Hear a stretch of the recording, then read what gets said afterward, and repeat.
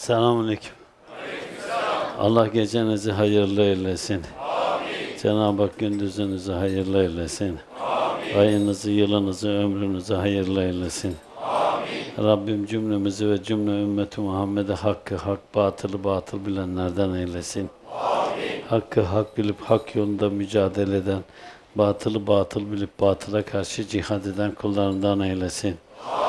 Rabbim nerede ümmeti Muhammed'e zulmeden, ümmeti Muhammed'in kanını, canını ortaya yere döken, ümmeti Muhammed'i zor duruma düşüren, adaletsiz, hukuksuz, haksız davranışlarda kim bulunuyorsa hepsinde intikamını alsın. İsrail'i kahri perişan eylesin. Destekçilerini kahri perişan eylesin. Doğu Türkistan'a yardım etsin. Onların özgürlüklerini nasip eylesin. Bütün ümmeti Muhammed'i bir ve beraber eylesin.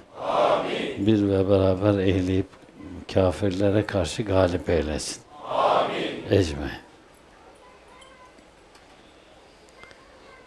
Kişi dersini çekerken ya da zikrullah esnasında içine düşen korku durumunda nereden yardım istemeli?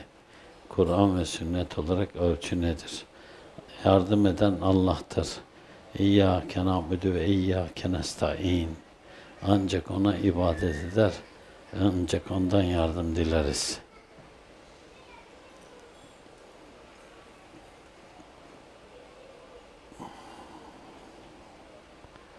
Hz. Nuh'un gemisinin gökkuşağında korunduğunu,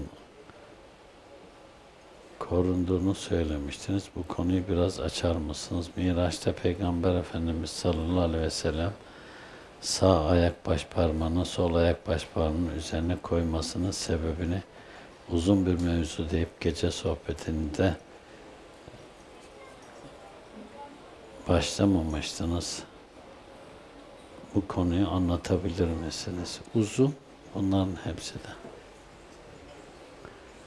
Zikri, üstadı, dergahı ve kardeşleri seven yıllardır düzenli bir şekilde derse gelen biri ders almak istiyorsa, rüya üzerine ders alması şart mıdır? Hayır. Rüya görmeden ders alınır mı? Evet. Erkeğin parası olduğunda ümreye ilk annesini mi, eşini mi götürmesi gerekir?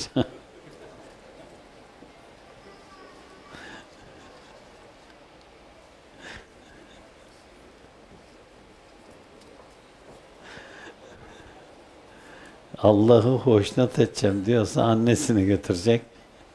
Ha şu hatunu hoşnut edeyim de evin huzuru bozulmasın diyorsa önce hatunu götürecek.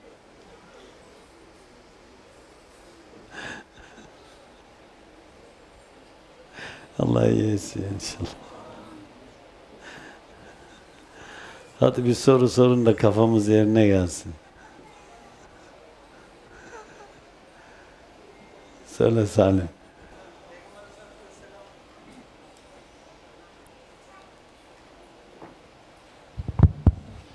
Peygamber Aleyhisselatü Vesselam Hazretleri bir hadis-i şerifte diyor ki Ya Rabbi bana eşyanın hakikatini göster. Biz sufiler olarak bu hadis-i şerifi nasıl algılamalıyız? İşte bu da normalde 16 ciltlik bir sohbet. Biz kafayı toplayalım derken kafayı kıracağız şimdi burada. Eşyanın hakikati varlıkla alakalı. Varlığın hakikati. Mesela onu çok kısa örnek verirsek Cibril hadisinde sahabelerin hepsi de dıhiye olarak gördü soruyu soranı. Ama o soruyu sordu, gitti. Ondan sonra Peygamber sallallahu aleyhi ve sellem hazretleri dedi ki bu gelen kimdi, tanıdınız mı? Dediler ki dıhiyeydi. Dedi ki hayır. O Cebrail kardeşimdi. Size dininizi öğretmeye geldi dedi. Böyle olunca o normalde demek ki e, dıhiye gibi görünen hakikati Cibril aleyhisselammış. Eşyanın hakikati denildiğinde varlığın hakikati, bir görüneni var. O görünen bizim aklımıza hitap ediyor. Bir de onun kalbi hakikati var. Ayrıyeten onun sırrı hakikati var. Bir de onun ruhi hakikati var. Ve hatta ilmel yakin, aynel yakin, hakkel yakin hakikatleri ayrı onların. Hazreti Peygamber sallallahu aleyhi ve sellem Hazretleri bana eşyanın hakikatini öğret deyince hakkel yakin olan hakikati söylüyor. Yani biz bunu varlık olarak, masa olarak görüyoruz ama bunun hakikati ne? Hakikati onu Kur'an'ı deyimiyle bakarsak yerin de nuru Allah'tır.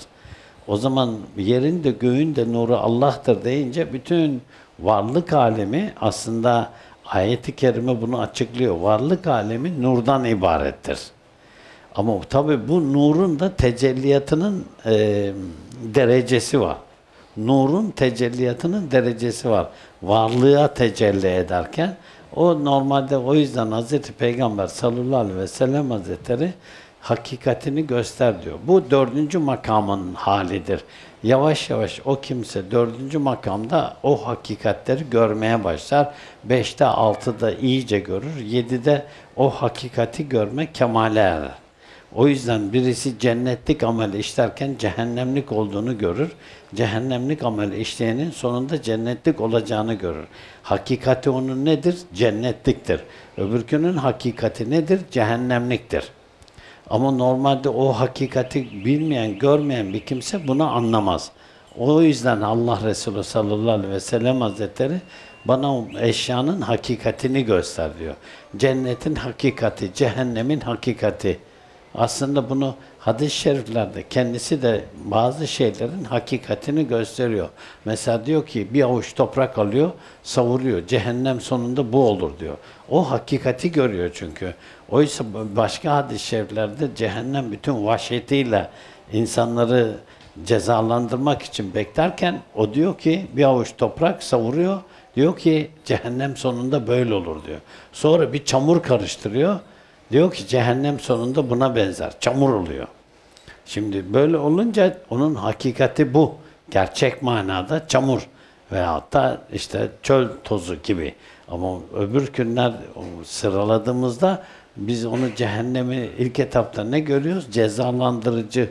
O gerçekten de cezalandırıcı mı? Cezalandırıcı. Ama sonuç olarak o da toprak oluyor. Şimdi o yüzden eşyanın hakikatini göster dediğimizde bütün her şeyin hakikati bu da o kimsenin görüşüne göre, bakışına göre, manevi konumuna göre değişir.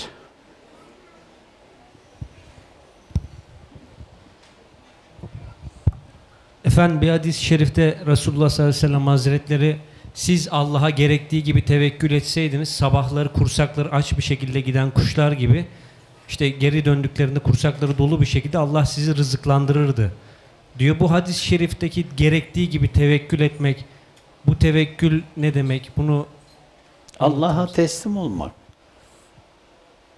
Bu o kimsenin normalde sebepler dairesini terk etmesi değil. Ama bütün o sebepleri işlerken her halinde Allah'a teslimiyet, ona güven, ona itaat içerisinde olması. Yani o kimsenin Allah'la olan bağını asla koparmaması. Bak asla koparmaması. Allah'la olan bağını koparıyorsa o kimse o zaman teslimiyeti de kaybediyor. Veyahut da hani az önce diyor ya korku geldiğinde ne yapalım? Şimdi bunun bir kısım ehli sufi buna şöyle cevap verir. Sen korku geldiğinde şeyhinden himmet iste. Şimdi o bu soruyu soran bunu duymuştur etraftan.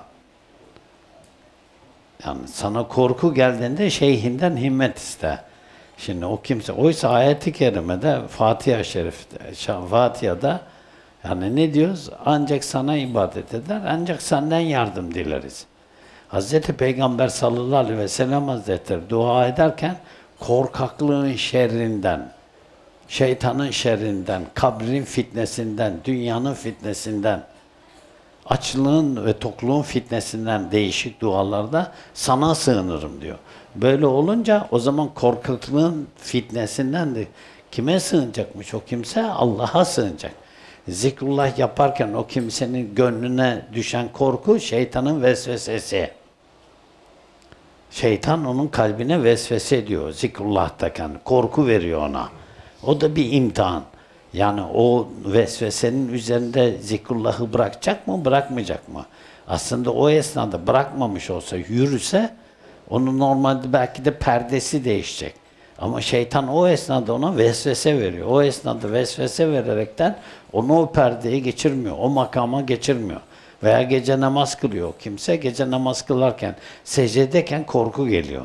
Ve hatta işte kıyamda korku geliyor. Ve hatta oturuşta korku geliyor. Veya sağına selam veriyor. Birini görüyormuş gibi hissediyor. Korku veriyor. Bu şeytanın vesvesesi.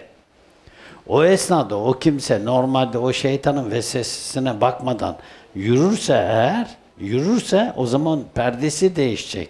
Makamı değişecek, hali değişecek. Ama onu yürümüyor o esnada. Korku hakim kılıyor onu. Korku hakim olunca kalıyor. Şimdi desen ki ona hani bu cevabı neden önceden vermedin? Vermedim. Yani o da neden o perdede kalacaksa kalacak. Onun için demek ki o korku onun önüne engel olacak. O korkuyu aşması aşamayacak. O da yürüyemeyecek. Orada kalacak. Bu da ayrı bir tecelliyat. Çünkü o şeytana müsaade eden de o. Onu imtihan eden de o. O yüzden orada normalde hani o kimse kendince bunun kendi dairesinde aşacak inşallah. Bu örnek verdiğiniz mücadeleye devam edecek yani zikre devam edecek. Bu gerek gerektiği gibi tevekkül bu mu oluyor? Yani Evet. O normal. Durmamak mı oluyor? O normalde bir kimsenin ya- yap, bir şeyi normalde e, benimki tevekkül. Böyle davranmam. Ben diyorum ki Cenab-ı Hak onu isteseydi o hali atlatırdı. Yani o kimse ama tevekkül bu manada her şeyini Allah'a teslim etmek. Her şeyinde Allah'la yürümek. Her şeyinde. Yani sonuçta sen dünyaları yıkacaksın. Allah isterse olacak. Allah müsaade etmedikçe bir şey olmaz. Ona yaslanacak o kimse. Ona dayanacak. Yani o izin verirse bize düşen bize düşen gayret etmektir, çalışmaktır, mücadele etmektir. Bize düşen bu sonuç Allah'a ait. Ha bizde şöyle bir kolaycılık var. Çalıştım olmadı. Ben dedim hayır. Çalışmadın o yüzden olmadı. Gayret ettim olmadı. Hayır. Gayret etmedin. Sen gereği gibi gayret etmiş olsaydı Allah onun karşılığını verir. Kimin gayretine cevapsız bırakmış? Kimin tövbesini cevapsız bırakmış? Kimin zikrini cevapsız bırakmış? Kim ya Rabbi demiş de buyur kulum dememiş? Kim çalışmış da karşılığını almamış? Bu o zaman Allah'ın üzerinde suizan besliyor kimse. Yani ben gayret ettim olmadı yani Allah vermedi. Suizan besliyor. Sen gayret edersen Allah verir. Ben bazen eski ben eskiyi söyleyeyim örnekleyeyim de millet üzerine fazla alınmasın, gömmesin kendini ama gömerse de gömsün. Önemli değil. Yani burada yani sen kapı kapı dolaştığında derviş mi olmadı? Bizim burada olmuyor Mustafa Efendi. Burası Bayındır gibi değil. Bir gün dayanamadım ben. Yani Bayındır'daki içki tüketimi dedim Türkiye'nin birincisi. Nüfus oranına göre. Nasıl? Basma ya. Bayındır'da benim gençliğimde içki tüketimi nüfus oranına göre Türkiye birincisiydi. Gazetelere çıktı. Nüfus oranına göre en fazla içki tüketilen yer diye. Hatta kafa yapıyordu bütün herkes. Tekirdağ neymiş ya? Tekirdağlılar gelsin burada öğrensinler nasıl içiliyormuş. Birader koliyi hazırladık. Koli. Yani buradaki eskiler belki de bunu bilirler. İşte bir traktör kasası rakı aklınıza hayalinize geliyor mu? Adam bir düğün yapıyor. Traktör kasası bir traktör kasası. Tepeleme. Rakı kolileri. İçiyorlar üç gün. Uykusu geleni götürüyorlar oraya yazmışlar halıları, yatakları, yorganları. Uykusu geleni götürüyorlar, yatırıyorlar. Gıygıdı gıygıdı devam ediyor. Üç gün. Yani çalgıcılar yoruluyor, yerine başkası duruyor. Ama şey bu, ne, o? E, laf bu. Burası Bayındır gibi değil. Ben Ödemiş'e göçtüm. Burası Ödemiş gibi değil. E ben Bursa'ya göçtüm. Burası Bursa gibi değil. Ne alakası var? Koş. Sen kapı kapı gittin de senin kapını gelen mi olmadı? Yok. Bizim tevekkül anlayışımız çalışma çalışmadan olacak. Yani bizim tevekkül anlayışımız o. Gayret etmeyecek, koşturmayacak, mücadele etmeyecek. Sorsam şimdi buradaki ben esnaflara kaçta dükkan açıyorsunuz desem herkes diyecek ki 9 açıyoruz, 9 buçuk, 8 açıyoruz, 8 buçuk. Öyle söyleyecek. En arkadan açan 9 açıyoruz diyecek. Kaçta açıyorsunuz Hüseyin? 9. Adnan kaçta açıyorsunuz? 9. Ben hatırlamıyorum 9'da Acar'ın dükkanını çalışırken ben 9'da dükkan açıldığını. Ben gözümü açamıyordum, ben bakıyordum kaçta açtılar diye. Ben namazı kılıyordum, giriyordum içeri, kapatıyordum kepenkleri, başlıyordum rafları fotoğraflamaya. Ben yeri sattım da en fazla Acar'ın elemanları sevindi. Kurtuldular benden.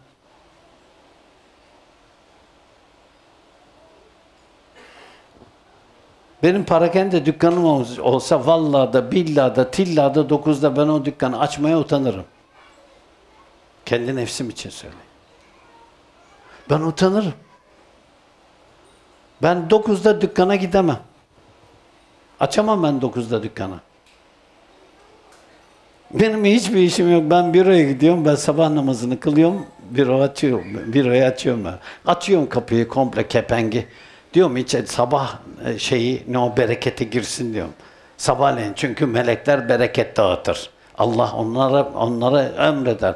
Der ki git sabah namazından sonra kim dükkan açıksa oraya dua edin. Oraya bereket verin. Ben açıyorum sabah namazından sonra. Bir Allah'ın kulu diyorum, bir dervişin birisi gelir de sabahleyin diyorum, bu adam dükkanı açıktır, bir soru sorar mı? Hiç kimse gelmiyor. Bir zikrullah paylaşıyorum, 10 kişi cevap yazıyor. Uyuyor herkes. Ne o seher vakti zikrullah kimde? Uykuda herkes. İyi uyumaları da güzel, haram işlemiyorlar ya. Haram istemiyorlar. O yüzden bizim tevekkül anlayışımız şu. Biz çalışmadan bize gelsin. Cep telefonundan oynayalım, biz para kazanalım. Tabii. Elimizde cep telefonu. Çalışan bir kimsenin deyin ki çalışan bir elemana. Cep telefonu açmak yasak da işi bırakıyorlar şimdi. Kimse çalışmak istemiyor. Tutturmuşlar bize şeyi ne o? Ne diyorlar? Z kuşağı. Ulan ne Z kuşağı ya? 16 yaşından beri ev bakıyoruz biz.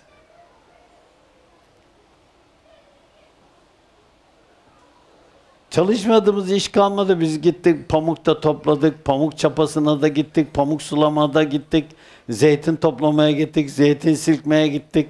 Çalıştık. Kahvede garsonluk yaptık, meyhanede garsonluk yaptık, çalıştık. Ayakkabıcıda çalıştık, ayakkabıda ne o e, kalfalık yaptık, orada çıraklık yaptık, ayakkabı satışında mağaza yönettik.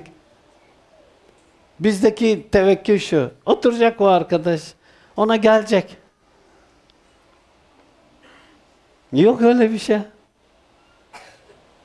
Öyle bir hayat da yok. Tevekkülü öyle anlıyor. Yok kardeş sabahleyin erkenden kalkacaksın işine bakacaksın. Sabah namazından sonra yatan adamdan hayır gelmez. Adam dediğin sabah namazında kalkar, sabah namazından sonra bir daha yatmaz. Sabah namazından sonra gider, sabah namazında kalkar, kahvaltısını yapar, ne yapacaksa yapar, hanımını da kaldırır. Kalk der, kalk. Hayırlı adam odur. Sabah namazında hanımını da kaldıracak. Çalışacak adam sabah namazından sonra. Hareket halinde olacak. E sabah namazında adam yatıyor, kadın yatıyor, çocuklar yatıyor, hane komple yatıyor. Adam sabah namazından sonra burada kahvaltı yapan hiç kimse yoktur. Evinde. Sonra iş yerine gidiyorlar. Ellerinde iki tane poğaça poşeti sallaya sallaya iş yerine gidiyor. İki tane poğaça elinde veyahut da simit. Her gün bir de değiştiriyor. Bir poğaça, bir simit, bir açma. Ne var başka Bursa'da? Bir tahinli. Tabii bir bakıyorsun Abdal'ın önünde kuyruk var. Kuyrukta kadın yok. Sırf adam. İşe no kapalı çarşıya yürüyecek olan Abdal'ın önünde kuyruk. Oradan simit alacak, poğaça alacak, bir şey alacak, gidecek, iş yerini açacak. He, hanım nerede? Hanım uyuyor. Hanım da ne o? Yorganın altından böyle bir parmağını çıkaracak. Elini çıkarırsa üşütür. Parmağınla güle güle diyecek ona, o da gidecek.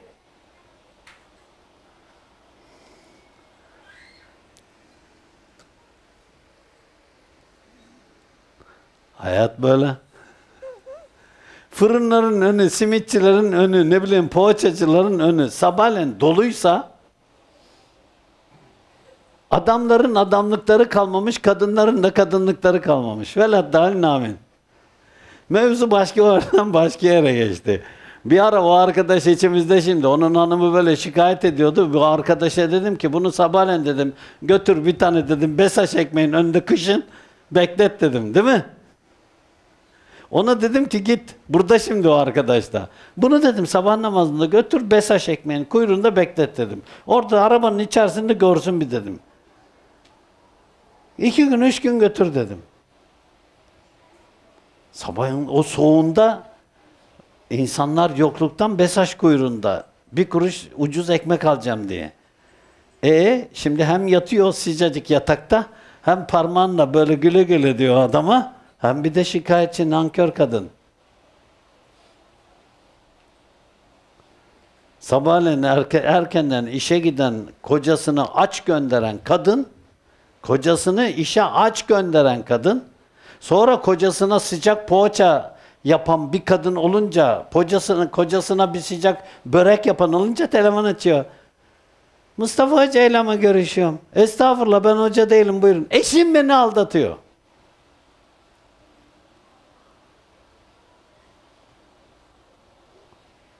Ben soruyorum. Gördün mü zina ettiğini diyorum ben. Hayır diyor. Dört tane şahit var mı diyorum adamın zina ettiğine dair. Hayır, iftira ettin diyorum kocana. Hele birisini hiç unutmuyorum. Ben soracağım sen cevap ver dedim. Evet dedi. Allah'ına dinle imanına söyle dedim. Adam kaçta gidiyor işe dedim. Ben yedi buçukta dedi. Sen kaçta kalkıyorsun dedim. On on bir gibi dedi. Adama kahvaltı yaptırıyor musun dedim ben. Hayır dedi. Erken gidiyor çünkü dedi. Adamın suçu erken gitmek. Gitmesin erken ya tabi otursun ya kahvaltı yapacak adam. Kim gidiyorsa işe gitsin. E dedim peki akşama geliyor dedim. Akşam geldiği zaman dedim ben. Akşam geldiği zaman. Yemeğin hazır mutfakta. Masan hazır, her şeyin hazır. Sen dedim kokulanmışın, süslenmişin, giyinmişin. Öyle mi karşılıyorsun adamı dedim ben. Hayır dedi. Dedim mutfakta dedim yemek kaynıyor, kızartma oluyor, bilmem ne oluyor. Senin de üzerinde dedim ben, senin de üzerinde çamaşır suyu dökülmüş eşofmanlar var değil mi dedim ben. E ne var bunda dedi. Evet dedi. E tabi. Ben dedim vallahi de billahi de aldatmazsa o kadın adamın hakkı dedim ya.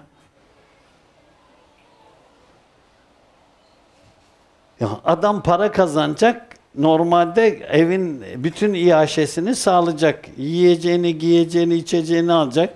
Elektriğini, suyunu, doğalgazını ödeyecek. Bütün parasını, pulunu, her şeyini karşılayacak. Sen adamı sabahleyin uğurlamayacaksın. Kahvaltı da hazırlamayacaksın.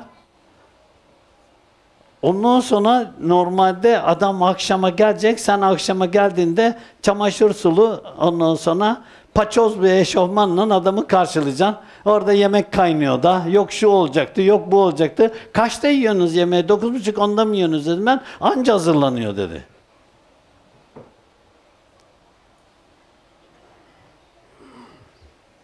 Allah bizi affetsin. E, tevekkülü yanlış anlıyoruz. Biz yapmamız gerekeni yapacağız, sonuç Allah'a ait. Biz yapmamız gerekeni yapmıyoruz. Biz işin matematiği nedir ona bakmıyoruz. Ondan sonra kendimizce tevekkül ehliyiz ama. Değil. Tevekkül o değil. Benim anladığım o değil herhalde. Allah bizi affetsin.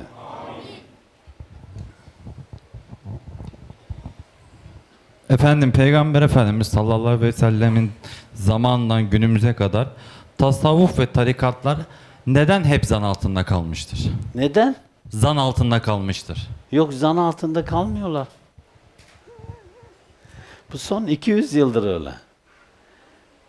Yani zan altında kalınacak bir şey yok. Ama bu son 200 yıldır batının ve içerideki batı uşaklarının kendilerince batının emriyle uyguladıkları bir strateji bu.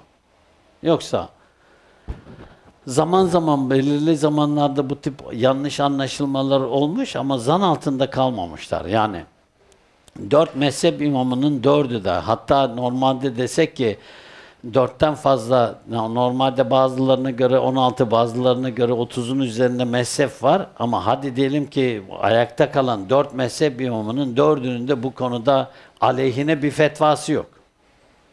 Yani din, Kur'an, sünnet imamların iştihadıysa o zaman normalde Kur'an'da belli, sünnette belli, imamların iştihadında belli.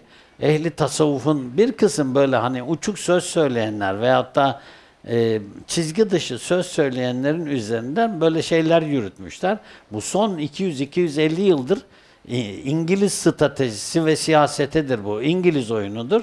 Çünkü normalde İslam'ın kalbi hükmünde olan ehli tasavvufu İslam'ın aklı hükmünde olan fıkıh alemleri yani me mezhebi ikisini çökertmiştir İngiliz soytarıları. Bakın İslam'ın kalbi vardır, ehli tasavvuftur, sufilerdir. İslam'ın aklı vardır, imamlardır. Yani mezhep sahipleridir. Ama ne yazık ki herkesin içerisine koydukları İngiliz ajanları, sonra da CIA ajanları, Mossad ajanları bu İslam'ın hem aklını bozdular hem de kalbini bozdular.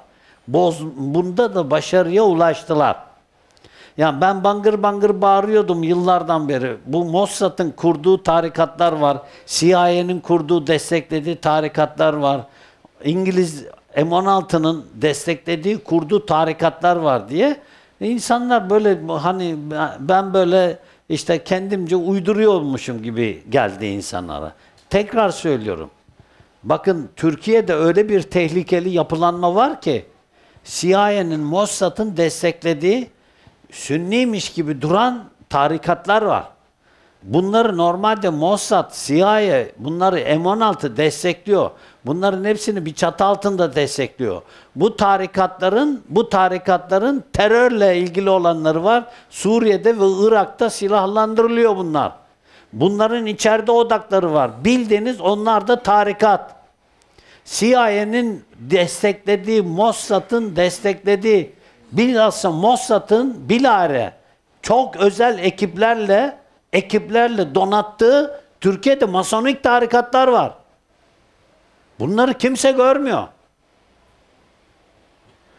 Bunların adı Türk. Adı Türk bunların. Bunlar özel ülkede yetiştiriliyor, özel okullarda yetiştiriliyor. Bunlar götürülüyor İsrail'e, İsrail'in Mossad'ın özel servislerinde yetiştiriliyor, tekrar Türkiye'ye getiriliyor. Bunlar genel müdür oluyor, bakan oluyor bunlar. Evet. Türkiye Cumhuriyeti Devleti'nde bunlar bakan oluyor. Bunlar genel müdür oluyor. Bunlar yüksek bürokrat oluyor. Senle beraber namaz kılıyor bunlar. Şimdi belki de gelse birisi buraya bizle beraber zikrullah yapar. Bunlar Kur'an-ı Kerim'i de okuyorlar. Aldanıyor bu millet. CIA'nin desteklediği cemaatler var, tarikatlar var. CIA destekliyor. Parasını, pulunu CIA veriyor. Evet. Bunlar o yüzden büyüyorlar. Bunlara geliyorlar işte filanca ne o yayın evine gidin sizin kitabınızı bastıracaklar bastırıyorlar. Filanca gidin şunu yapacaklar yapıyorlar. Bunların burunları kısık zaten. Tutmuşlar bunları. O yüzden hepsi de var. Ya bangır bangır bağırıyorum. Diyorum ki ya dergah tekkeyi kime verdiler? Bizden aldılar. Kime verdiler? Merkezi Londra'da olan Uluslararası Mevlana bilmem ne vakfına verdiler. Merkezi nerede? Londra'da.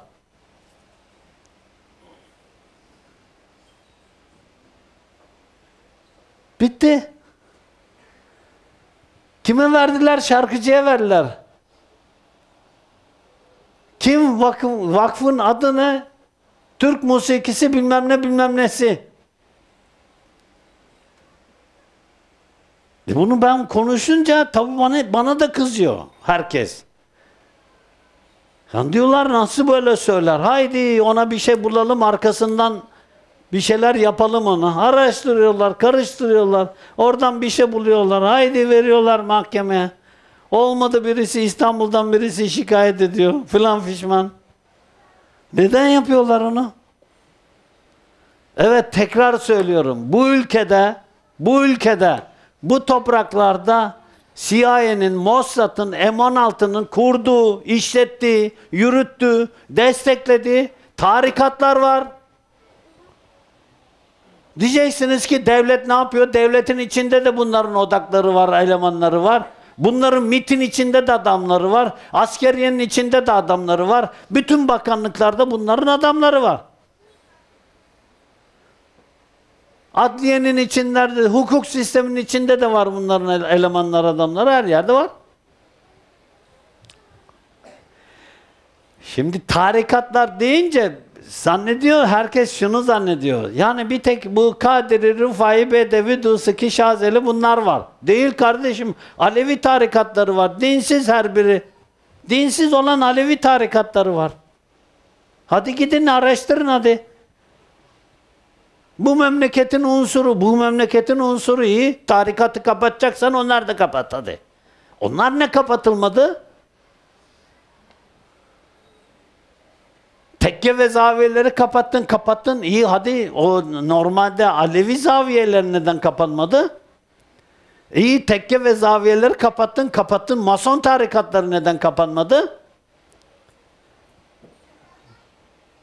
E çünkü Cumhuriyet döneminde normalde üç aşağı beş yukarı mason olmayan başbakan veyahut da mason olmayan bakan yoktur. Bakın mason olmayanı bulmak zor. Ya Osmanlı'da koca Şeyhülislam mason.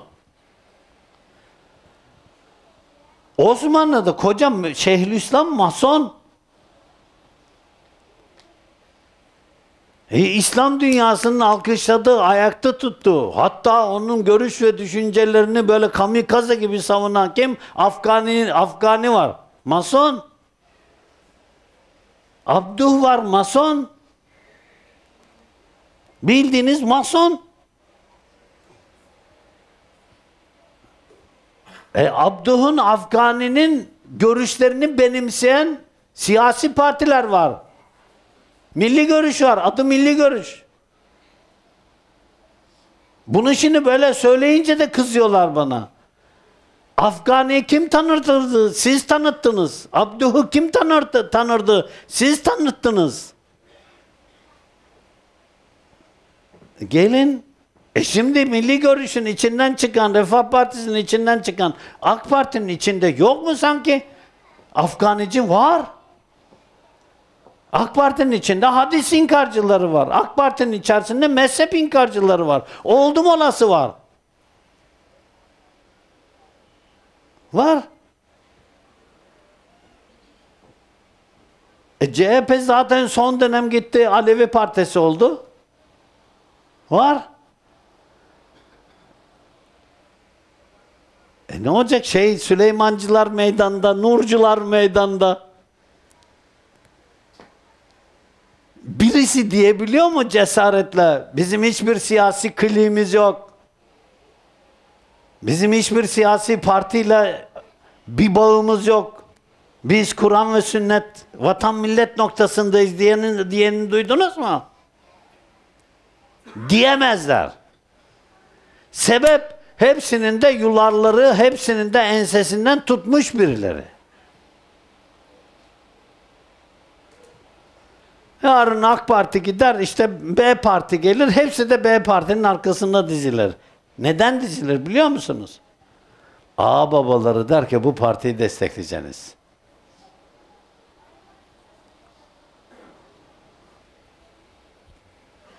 A babaları der ki bu partiyi destekleyeceksiniz. Hepsi gider tıpış tıpış o partiyi destekler. A babaları der ki böyle İslami cemaattir değil mi orası? A babaları der ki bu seçimlerde CHP'ye oy veriyoruz. Herkes CHP'ye oy verir. A babaları der ki AK Parti'ye vereceğiz. Hepsi de AK Parti'ye verir. Verir. Şimdi o cemaatlere, o tarikatlara müntesip olanlar hop oturup kalkıyorlar. Ben böyle söyleyince. Ne oturup kalkıyorsun kardeşim? Sana CHP oy ver dediler de vermedin mi? Ver, vermedinse dahi çıkıp orada bağıraydın. Hop kardeş ya biz 40 yıldan beri neyin mücadelesini veriyoruz? Şimdi gidip CHP'ye mi oy vereceğiz deseydin.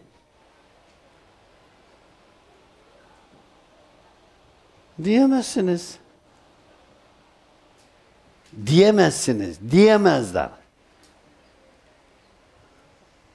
Neden? Kökleri dışarıda. Kökü içeride olan da böyle bizim Kur'an sünnet dairesinde durursa durursa onu daha rahat vermezler. İşin en garip kısmı da efendim şimdi siz deyince fark ettim.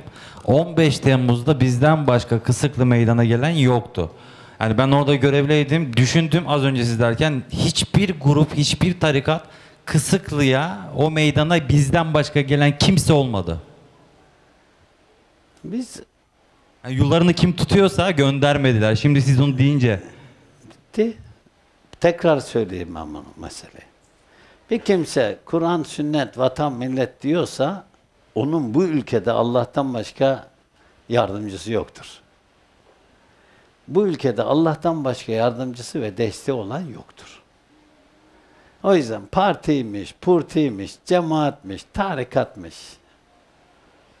At bir tarafa gitsin hepsinden. At bir tarafa gitsin hepsinde. Umurumda değil. Hani bu böyle fitursuzluk gibi yani umurumda değil. Yani sonuç itibariyle ben kendi özümü biliyorum. Ben kendi bağlı bulundum dergahımın özünü de biliyorum. Ben kendi özümü de biliyorum. O yüzden umurumda değil. Kimden nemalanırsan onun kılıcını sallarsın. O yüzden o millet tabi cemaat bir topluluk onu bilmez. O devasa binalar nereden oluyor? Benim kafam basmıyor buna. O şatafat, o lüks nereden oluyor? Buna kafam basmıyor benim. Biz şuraya başımızı soktuk Allah'a hamd ettik. Senede birkaç sefer patlıyor, çatlıyor. Ha Cafer? Her taraf rutubet. Biz şuraya kafamızı soktuk. Yani böyle konuşmak istemiyorum. Ahmet Acar'dan Allah razı olsun.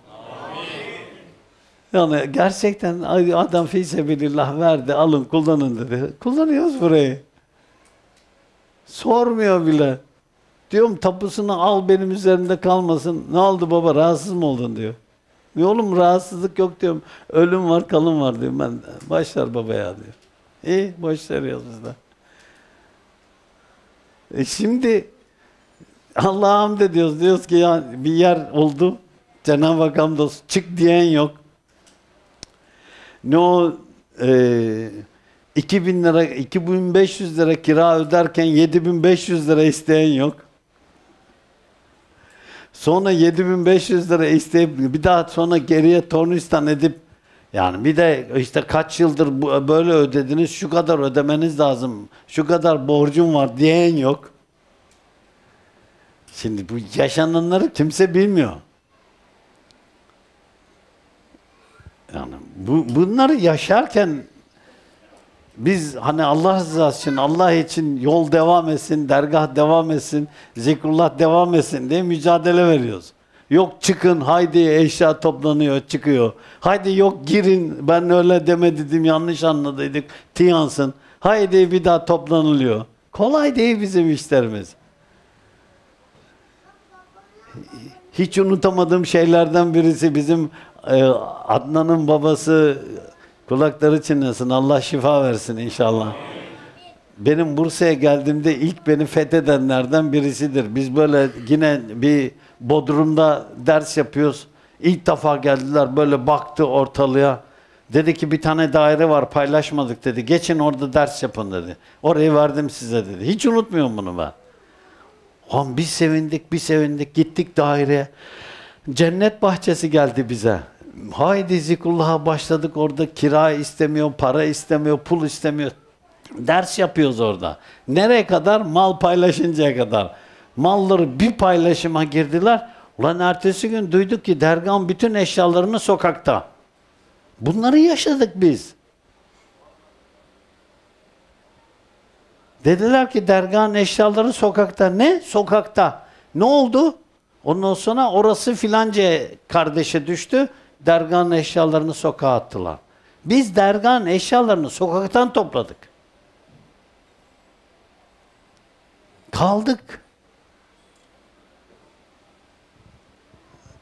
Hiçbir şey demedik. Ağzımızı açmadık. Tabi bunu biliyorum ya ben. Bir de o paylaşım esnasında haksızlığa dedim ki burada, burada haksızlık var. Adnan'a söyledim. Adnan burada sizi ütüyorlar dedim. Haksızlık var. Dedim git babana konuş. Haksızlık var burada dedim. Tabii bu böyle konuşulunca bana düşman oldular. Hatta ya haksızlığa haksızlık diyeceğim. Biz bunları yaşıyoruz. Şikayetimiz yok. Cenab-ı Hak hamdolsun hiç şikayetim yok. Lütfediyor. Bakın geçen hafta Çanakkale'ye gittim. Cenab-ı Hak öyle bir yer nasip etmiş. Sıkıntılar yaşandı Çanakkale'de. Yaşanmadı değil. Ama sabır, mücadele, gayret, tevekkül. Anlatabildim mi? O sabır, o gayret, o mücadele Allah senin önünü açıyor. Harika bir yer. Çok hoşuma gitti. Yani böyle bizim dergahımıza yakışacak bir yer oldu. E, hamdolsun Cenab-ı Hak veriyor. Gayret lazım, mücadele lazım. Yani tevekkül dediğimizde buna güzel örnek. E nerelerde ders yaptık öyle değil mi? Yok yukarıda park gibi bir yerde ders yap. Yok orada bir yerde ders yap. Yok orada bir yerde ders yap. Kolay değil bu işler. Nefis de kaldırmaz her şeyi. Tabii. Orada bir başkasının yanında sığıntı gibi ders yap. Doğru mu? Ya. Mücadele. O diyorsun ki bu, bu Çanakkale'de gün gelecek. O yaşanacak. Ha o mücadele de o sıkıntı da yaşanacak. O sıkıntı yaşamazsan çünkü onun kıymetini bilemezsin. O sıkıntı da yaşanacak. E Cenab-ı Hakk'a hamdolsun. Kolay olmuyor bizim işler. O yüzden ehli tasavvuf zan altında değil. Ehli tasavvuf kimlerin zan altında? Mossad yetiştirmesi, CIA yosması, M16 fahişelerinin zannı altındayız. Hiç önemli değil. Bildiğiniz onlar fahişedir. Çünkü ehli zikre laf söyleyen, ehli zikre eleştiren, ehli zikre karşı olan kimse küfür ehlidir. Küfür ehlidir direkt. E kimler karşı meydanda Türkiye'de? O yüzden umurumuzda da değil. Eftal zikir fa'lemennehu la ilahe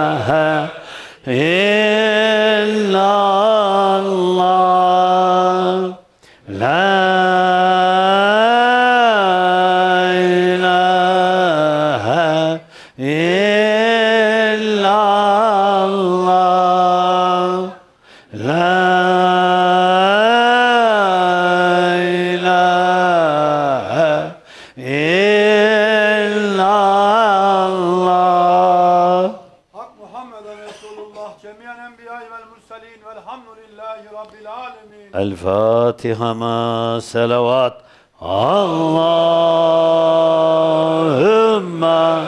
salli ala seyyidina Muhammedin ve ala